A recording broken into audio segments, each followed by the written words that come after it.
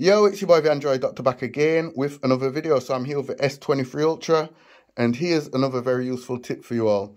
Okay, so in this one I'll be showing you how to run a diagnostic test on your Wi-Fi connection on the S23 series.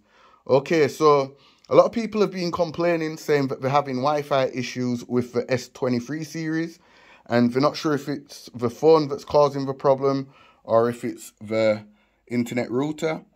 So after you run this test, what I'm about to show you, you'll be able to determine if the problem's coming from the phone or if it's coming from your router. Okay, so let's go ahead and run the test. So all you have to do is just pull down the notifications, go into the settings and scroll down to where it says battery and device care. Select it and then scroll down to where it says diagnostics if you don't see the diagnostics option, you'll need to go to the Google Play Store and download Samsung Members, the application, and then install it onto the phone and then log in to the Samsung Members application using your Samsung account details and then come back to device care and you will then see the diagnostics option. So select it and then select phone diagnostics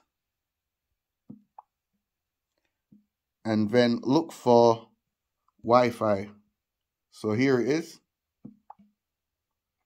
And then just run the test and it will say check in.